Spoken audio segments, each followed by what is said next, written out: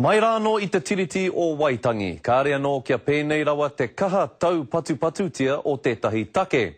No te whakatūnga mai o te ture takutai moana, i tā weko weko ai te taura here i wainganui e tahi rōpū, i ara ake ai he rōpū hō, i whānui hoki ai te kitea o ngā whakatumatuma me ngā whakatū pehu pehu huri noa i te motu.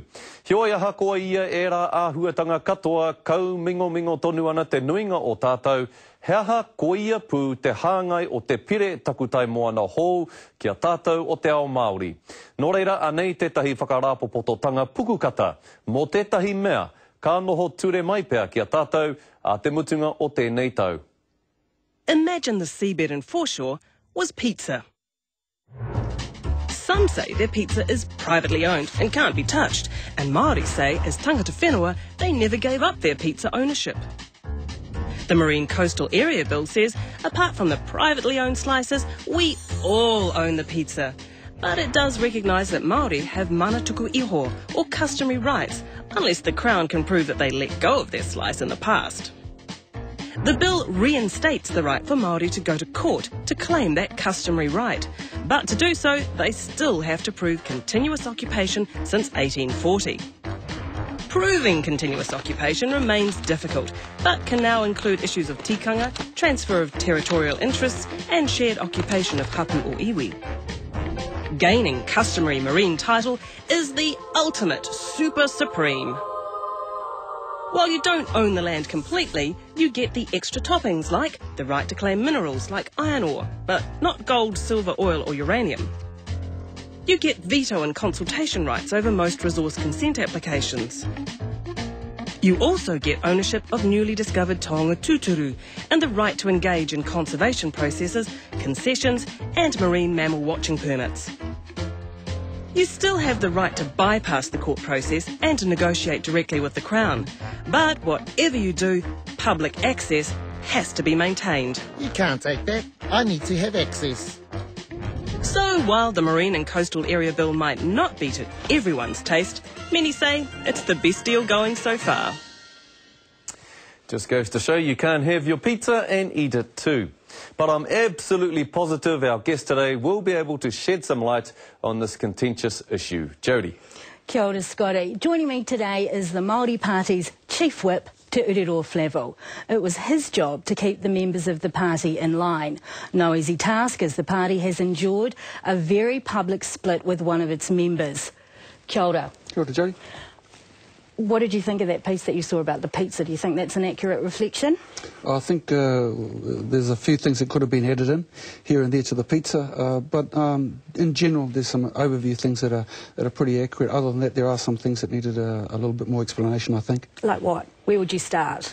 Uh, well, uh, just a little bit more in-depth information about uh, about the whole scenario. I mean, it's easy enough to talk like that about a pizza, but when you're actually talking about rights, uh, about uh, property right, uh, about um, the obligations of one party versus the other one, I think it opens up a little bit more information that needs to be to, to given out to people, and, and, I suppose that's that's what we've been attempting to do um, ever since this bill came back and came to Parliament.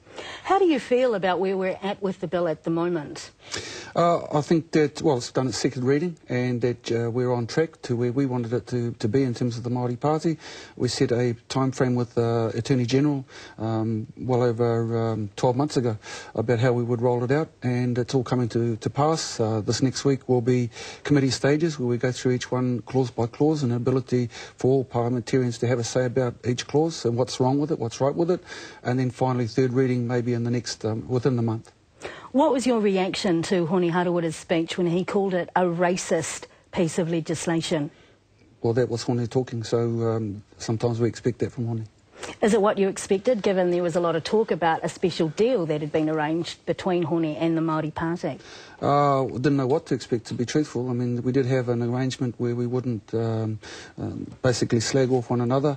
Um, so he did a speech, uh, he did he did, uh, from time to time, uh, time take a, uh, a swipe at our leadership and, and uh, the party as a whole. Um, so, I mean, that's what happened. It's a matter of fact now, so we just move on. What does that do for your wairua when you hear him sit there and call it a racist piece of legislation? Well, um, just expect that from Hone, but I mean, what's most important is that we're doing what we said we would do. Uh, the key things that the Māori Party said right from the very start, and what motivated me from the very start too about this whole bill, and even moving into the Māori Party and being a part of the whole process was, was number one, that I, like many New Zealanders, felt it was inappropriate that uh, a right to go to court was taken away from us in the first instance, and number two, that the government of the day confiscated a property right. Uh, the Māori Party, ever since we went into Parliament, said that we wanted to do two things. Number one was to repeal the Act such that our people would be able to uh, go back to uh, the, the, the um, uh, the situation around the Ngāti Apa case and allow um, our people to go either directly to, to, the government and negotiate a property right, a customary ownership right, uh, or go to the courts. And most important thing was that it's taken out of the Crown hands and therefore uh, allows our people to go back and test the issues of customary ownership. That's what we're on about, and that, that is pretty much what we're uh, attempting to do with this, this bill, this, sorry, this legislation. So you see it as a victory for the Māori Party? Well, I, I, I, take it as a, an honouring of a commitment that we take, uh, that we gave to our people from the very start when we went into Parliament, and certainly uh, what we've uh, put in front of our people ever since we've entered in the arrangement with the National Party. In Hone's speech, he said the summary of the Māori submissions on the Takutai Moana Bill say 70, 72 submissions were received, 71 opposed. Do you accept that? Well, I can't. I haven't got the stats in front of me. I think there's a few more actually that came in. Uh, talking about Māori, Māori uh, submitters. Māori submitters. There's a huge number of submitters, um, and of course you've got uh, people at both ends of the scale. On one hand, you had thousands of uh, of Pākehā submitters saying you're giving the Māoris too much, and on the other, other end, as you'd expect, is iwi saying, well, we're not getting enough, some of them at least. And in the middle is a huge chunk of people who never came through the door, which is probably going to happen, not going to happen at a, sorry, at a select committee process because most people don't come to the select committee process to tell you they support something. So in the end, I mean, it was pretty much to expect it. And if you've got people at one end of the spectrum and the other end who both agree on something and yet uh, for different reasons, then probably the bulk in the middle are probably right. Do you stand by your commitment? To, you put out a press release the other week saying that you you are truly representing uh, the people of Waiariki. Do you still stand by that? Uh, well, they, you had 12 hui, they've oh. told you to carry on uh, well, uh, uh, what I'm saying is that uh, not only those those who there was a quick roadshow in terms of just giving information out again in the time that we had. I mean, I've, I've been around the electorate for the last uh, uh, at least two, maybe three times for the last last year, telling our people that this was one a, a, key platform. We needed to get it right, and and, and making sure to engage as many of the people who came to our hui. So that wasn't one. But um, in terms of the feedback I've had from my electorate and from all of the branches, the feedback that I've had is that we have support for this legislation to go through for, for my stand in terms of Waiariki. How much damage do you think Hone Harawira has actually done to the Māori Party? Uh, well, we've sort of gone past that now because one is not with us anymore. And what we're attempting to do is start building again uh, the base uh, from Te Tai Tokerau at least.